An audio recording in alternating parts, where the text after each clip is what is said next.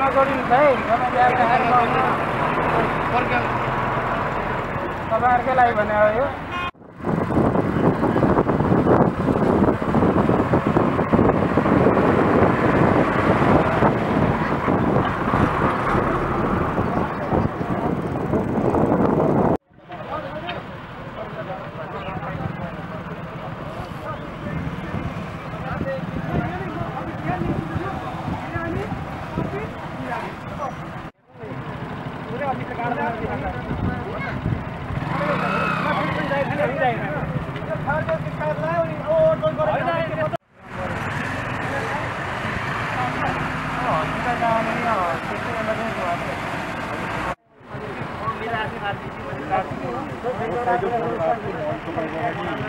अब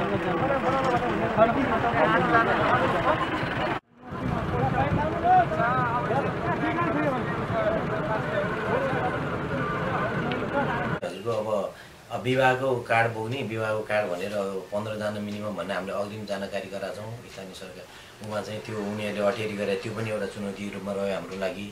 अर्को कुरो अब दुई चारवटा अब एउटा ठुलो गाडीमा दुई चारवटा चाहिँ फलफुल सलफुल राखेर उहाँहरूले हामी फलफुल गर्ने बोक्ने गाडी हो। हाम्रो चाहिँ यो डि- यो फ्रिजमा चाहिँ उयो गर्नुपर्छ कोल्ड स्टोरमा राख्नुपर्छ।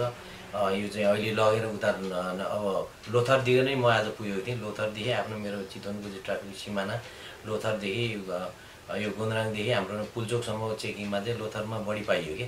लोथरबाट यता इन्ट्री हुने जो म मकनपुरको सिमानादेखि यता इन्ट्री पोइन्टमा पनि उनीहरूले बानाबाजी बढी गरिया देखियो। मेन चाहिँ यथार्थ नभइकन बिहे भने अब तिस पैँतिसजना जनता जन्ती बोकेर हिँड्ने जो कि नियममा पन्ध्रजना मिनिमम रहेछ।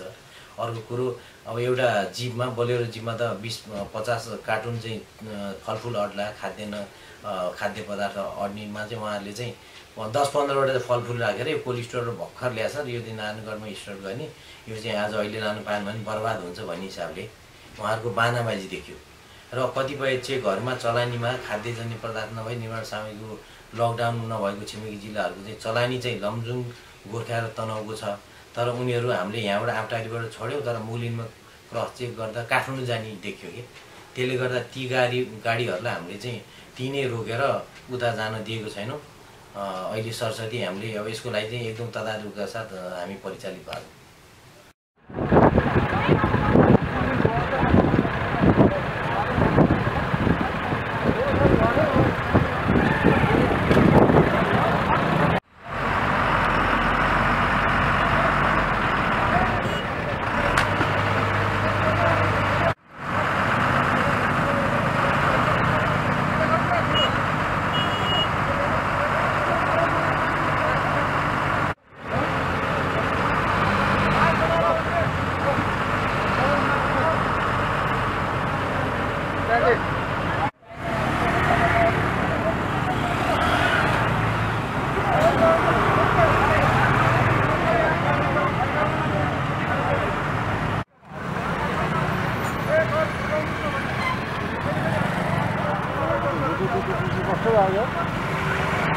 गर्दा हुने कतिपय सूचना अभाव अब हाम्रो यो वैवाहिक यो सिजन पनि चलिरहेको छ। त्यो कारणले पनि विभिन्न भेटघाट गर्न आउने र लकडाउनमा पहिलाको अवस्थाअनुसार चाहिँ के कस्तो छ उहाँहरूले चाहिँ अब नयाँ कौतूहलताभित्र बस्नु देखाएर चाहिँ अब कोही कोहीले चाहिँ अब नजिकै जाँदा पनि सवारी साधन युज गर्ने त्यस्तो प्रकृति देखेका छ। तिनीहरूलाई चाहिँ हामीले होल्ड गर्ने सम्झाइ बुझाइ गरेर एक घन्टा राखेर चाहिँ आज हामीले लगभग लगभग बाह्र सय पन्चानब्बेजना मान्छेलाई हामीले चाहिँ त्यसरी होल्ड राखेको छौँ करिब दुई बजीसम्ममा।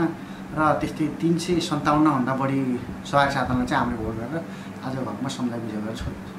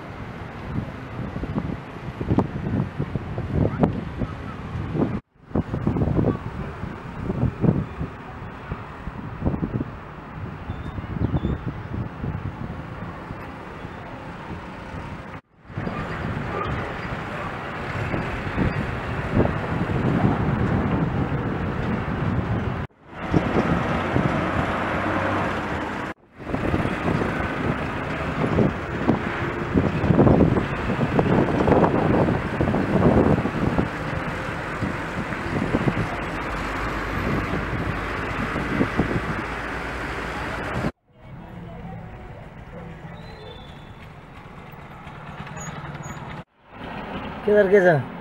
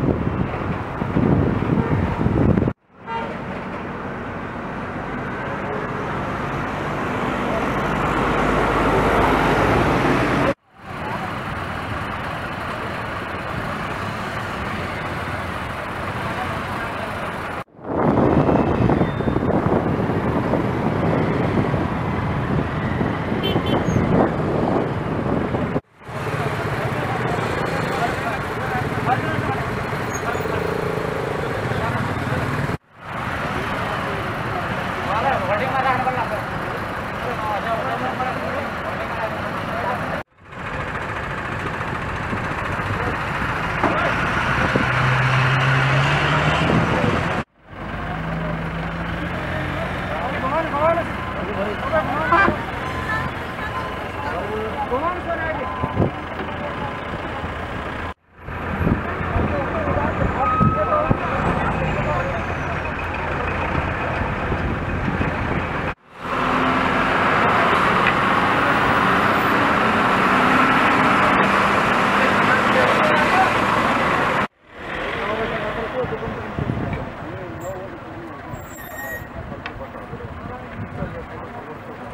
ए एकै ठाउँ नगरिनुहोस् है